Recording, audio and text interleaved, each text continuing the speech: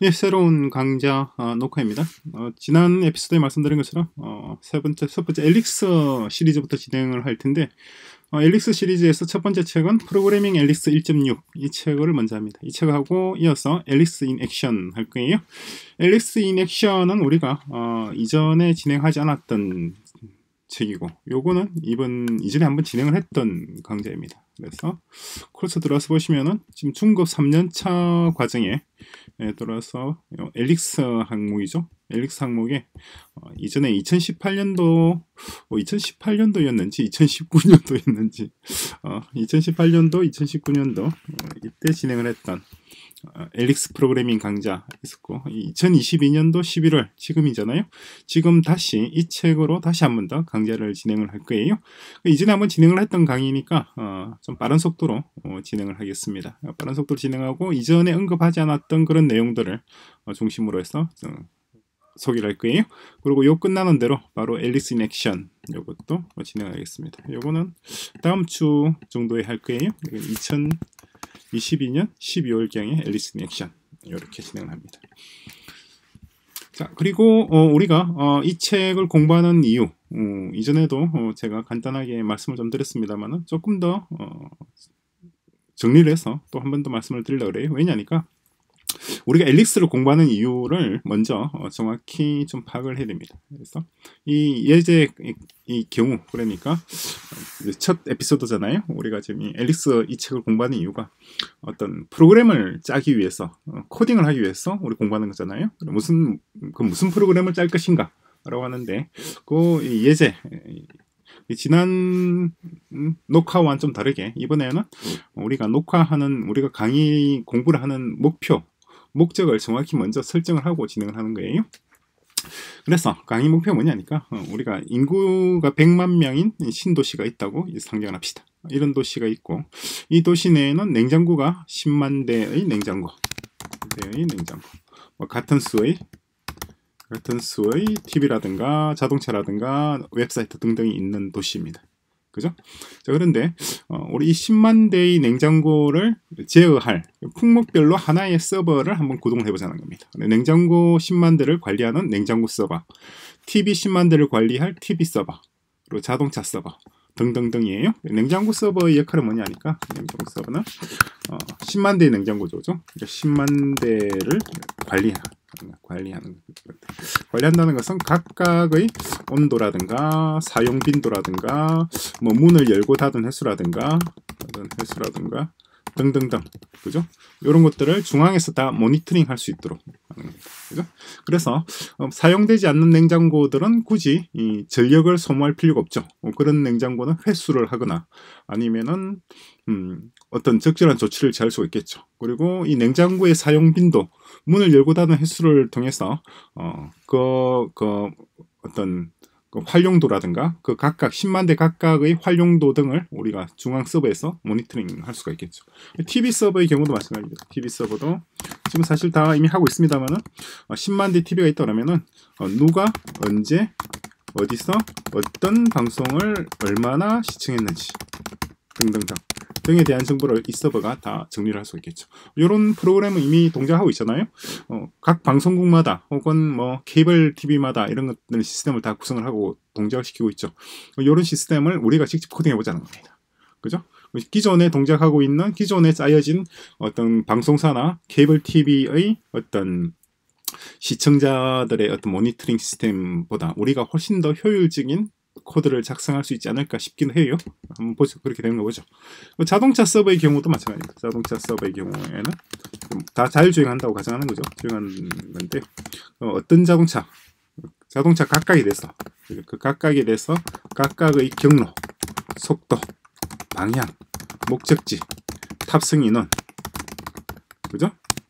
그리고 뭐 가동 시간, 가동 시간, 주행 거리 등등을 중앙의 서버가 다 모니터링하고 제어하고 관리할 수 있는 그런 자동차 서버를 우리가 구성할 수가 있겠죠. 그죠? 스마트폰 서버도 그렇고 웹 서버도 마찬가지입니다. 어, 이, 예를 들어서 100만 신도시에 웹사이트가 1000개가 있다. 사이트 1000개.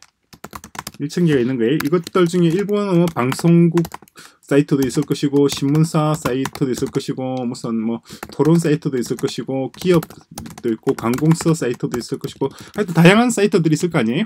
이 다양한 사이트 각각의 각각의 어떤 뭐라고 해야 되나요? 표준적인 표준적인 웹사이트 어떤 골격 골격을 구성하고 그죠? 그리고 이 웹사이트 자체의 어떤 뭐라고 해야 되나요? 음, 로그인 프로세스, 로그인 프로세스를 통일.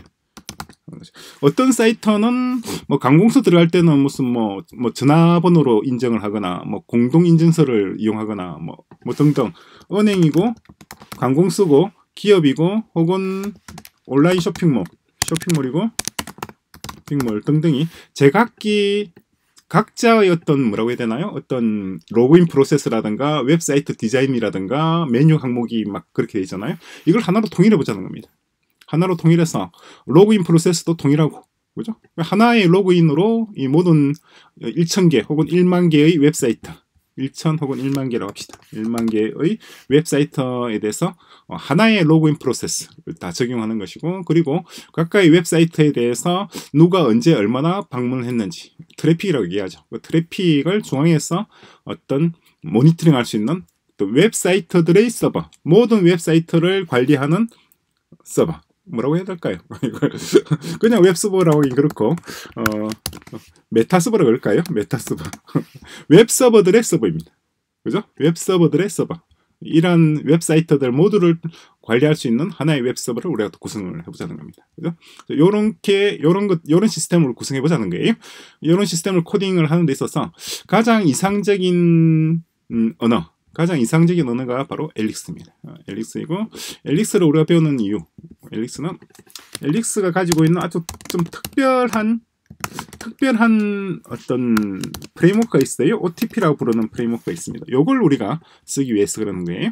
OTP라고 하는 것은 상당히 특이한 프레임워크인데 원래 이 용도 자체는 OTP라고 하는 거 용도 자체는 어 원래 전화국에서 쓰는 전화국의 어떤 통신 어떤 그 교환 교환기였죠. 교환기용 프로그램이었는데 어쩌다 보니까 이게 전혀 다른 용도 바로 이런 distributed computing이라고 얘기하나요? distribute distributed computing의 가장 최적의 어떤 도구로 자리매김하게 됐어요. 그러니까 원래 만들어진 용도와 다 전혀 다르게 대박을 친 그러한 음, 프레임워크가 OTP입니다. 어, 우리 주변에 그런 경우가 들어있, 들어있죠. 어, 예를 들어서 어, 비아그라 같은 경우도 원래 비아그라가 그 심장병 약인가 그걸로 만들었죠. 그래서 근데 심장병이나 뭐, 뭐 혈관 확장제의 용도보다는 다른 용도로 대박을 쳤죠. 그죠? 똑같은 경우입니다. OTP도 원래는 어떤 전화국의 통신 교환기로 설계된 프레임워크이지만은 전혀 엉뚱하게 예, 대박을 치고 있는 거예요. 해서 우리가 OTP를 쓰기 위해서 Elixir라는 언어를 공부를 하는 겁니다. 그죠? Elixir라는 언어 자체는 또 기존의 언어와 조금 달라요. 어, functional program, functional. functional program language인데 그 functional language가 뭐냐? 어, 짜장면과 짬뽕의 차이라고 보면 돼요. 짜장면과 짬뽕. 짬뽕. 어, 예를 들어 짬뽕은 뭐 우리가 흔히 알고 있는 OOP, Object Oriented Programming. 이거는 짜장면은 functional programming. 그래서 어떤 메뉴의 차이입니다. 어, 뭐 메뉴의 차이. 어떤 사람은 짜장면을 좋아하고 어떤 사람은 짬뽕을 좋아하는 거죠. 그죠? functional이라고 하는 어떤 코딩하는 메커니즘, 코딩의 스타일, 한식과 양식의 차이라고 할까요? 한식과 양식. 한식 대 양식. 전혀 다른 식사 메뉴지만은 어 에너지를 보충한다. 밥을 먹고 산다. 먹고 살기 위해 먹기 위해 살 먹고 살기 위한 어떤 양식이라는 건 동일하잖아요. 그죠? 그래서 펑셔널 랭귀지이고 엘릭서 어, 상당히 재밌습니다. 그리고 음, 굉장히 재밌어요. 어, 엘릭스라는 언어 자체도 굉장히 재미가 있고 굉장히 재미있고 그리고 OTP라고 하는 프레임워크도 굉장히 재미가 있습니다. 어, 둘다 너무나 재밌어요. 근데 이 둘은 서로 다릅니다. 어, 전혀 다, 다른 거예요. 얘는 그냥 언어이고 얘는 프레임워크이고 우리가 이 프레임워크를 쓰기 위해서 이 Elixir라는 언어를 배우는 겁니다. 그죠? OTP라고 하는 프레임워크는 Elixir만 있는 게 아니고 다른 언어들도 이걸 actor model이라고 표현합니다.